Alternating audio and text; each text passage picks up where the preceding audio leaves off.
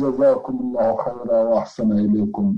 بعد هذا رسالة وصلت إلى البرنامج من المستمع محمد عبد الله أحمد أبو مسعد من السودان. يقول أرجو التوجيه شاكرا ومقدرا وذلك لعلاج الإعجاب بالنفس أو باللون أو بالمال أو ما أشبه ذلك. إذ ألاحظ أن بعض الناس يقع في هذا دون إحساس. جزاكم الله خيرا. الإعجاب لا يجوز لا بالنفس ولا بالمال ولا بالعمل فالواجب آه، التواضع والواجب أن الإنسان لا يستكثر عمله مهما مهما عمل ومهما بلغ فإنه أولا لا يدري هل هو مقبول عند الله أو غير مقبول ولا يدري هل عمله هذا صحيح منطبق على مراد الله سبحانه وتعالى وعلى شرع اتباع رسوله أو فيه خلل الإنسان لا يزكي نفسه. ولكن عليه أن يحرص على العمل الصالح والمتابعة للرسول صلى الله عليه وسلم مع الخوف من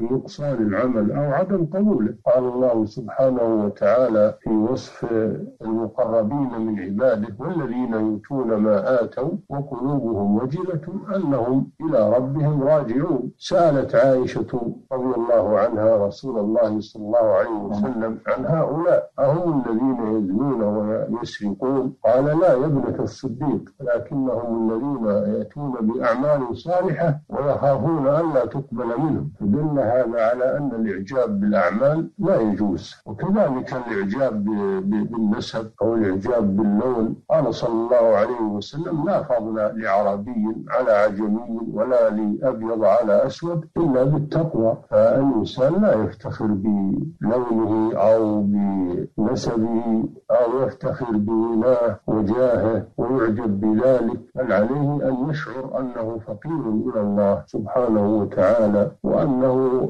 آه، مهما أوتي من المال ومهما أوتي من القوة فإنها عروة للزوال وعروة لأن تسلب منه سريعا فيصبح آه، فقيرا ضعيفا. فعلى الإنسان أن لا يغتر بما هو عليه من مال وشرف ومكانة وجاه وغير ذلك وإن الله سبحانه وتعالى نهى عن التلهي بالأموال والأولاد. يا أيها الذين آمنوا لا تلهكم أموالكم ولا أولادكم عن ذكر الله. من يفعل ذلك فأولئك هم الخاسرون.